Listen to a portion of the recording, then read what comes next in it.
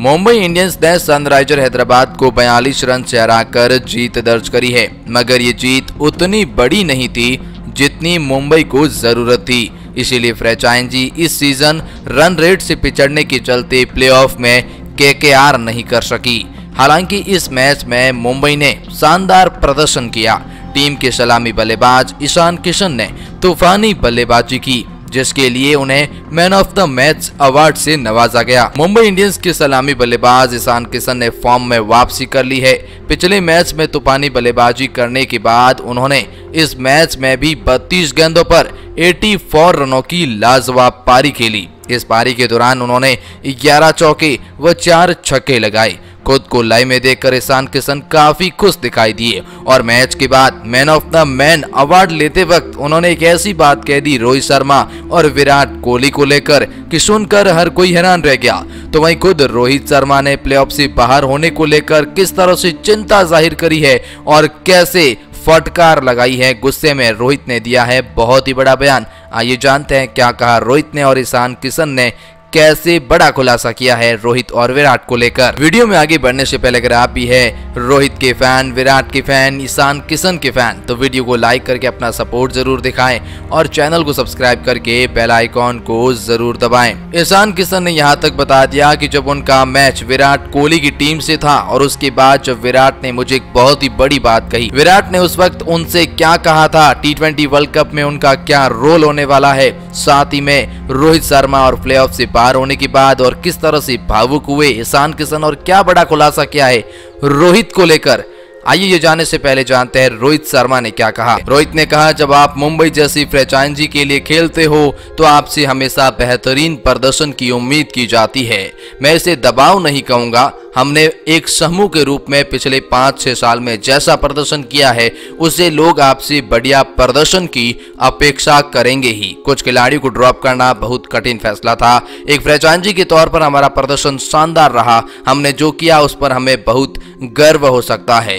हम दिल्ली में मैच जीतने की रफ्तार में ही आ रहे थे और फिर बीच में ब्रेक लग गया। एक बार जब आप यहाँ आए हमें सामूहिक विफलता मिली, लेकिन आज जीत से बहुत ही खुश हूँ और मुझे यकीन है कि यह प्रशंसकों के लिए मनोरंजक था। तो वहीं प्लेऑफ की रेस को लेकर टॉस के वक्त रोहित ने कहा हमें इस प्लेऑफ में जगह बनानी है तो हैदराबाद को 160 170 रन से भी ज़्यादा के अंतर से हराना होगा। मैच में पहले बल्लेबाजी करना चाहते हैं जो आंकड़े सामने हैं। हमारे वो तो आंकड़े वाकई में डराने वाले हैं, फिर भी हमें यहाँ पर सौ प्रतिशत देने वाले हैं। उम्मीद करते हैं कि हम मैदान पर जाकर वो करें जिससे करना सबसे ज़्यादा पसंद करते हैं। सबसे ज़्यादा अहम होता है कि हम मैच का पूरा मज़ा उठाएँ। यह सीज़न अब तक के लिए उतार चढ़ाव रहा है, लेकिन जो आज हमें करना है। वो वाकई में एक बहुत ही बड़ी चुनौती है और आज तक न केवल इंटरनेशनल क्रिकेट बल्कि किसी टी लीग में भी नहीं हुआ। वो हमें करना है। लेकिन अफसोस की बात की वो वो कर नहीं पाए। ये जानते हैं अब ईशान किशन ने क्या कहा। ये जाने से पहले ये जानते हैं आप कि ईशान किशन आईपीएल 2021 के सेकंड लेग में खराब प्रदर्शन से जूझ रहे थे। उनका बल्ला रनों के लिए तरस रहा था, मगर युवा खिलाड़ी को खुद को बैक किया। राजस्थान रॉयल के खिलाफ वापसी और इस मैच में लय बनाए रखी। ईशान किशन ने खुलासा किया। विराट कोहली सहित सभी ने उनका सपोर्ट किया। उन्हें इस फ़ेज़ में सीखने को मिला। किशन ने आगे कहा विराट भाई के साथ मेरी अच्छी बातचीत हुई। जसप्रीत भाई ने मेरी मदद की। यहाँ तक तो कि हार्दिक पांड्या, कुणाल पांड्या भी मेरा साथ देने के लिए मौजूद थे।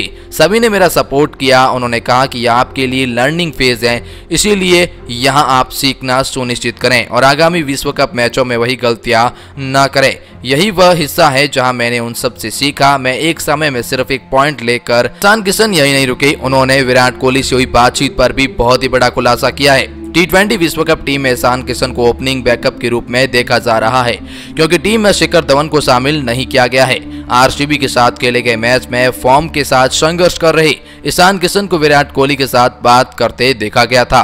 ईशान ने बताया कि कोहली ने कहा कि उन्हें एक ओपनर के रूप में चुना गया है। किशन ने कहा, मुझे ओपनिंग करना अच्छा लगेगा। और यही विराट भाई ने कहा, आप एक ओपनर के रूप में चुने गए हैं। आपको बस उसके लिए तैयार रहना होगा। बड़े स्तर पर आपको हर स्थिति के लिए तैयार रहने की ज़रूरत है। तो खैर, आप क्या सोचते हैं ईशान किशन के बारे में? कमेंट सेक्शन में अपनी राय ज़रूर बताएँ। फ़िलहाल इस वीडियो में इतना ही, धन्यवाद।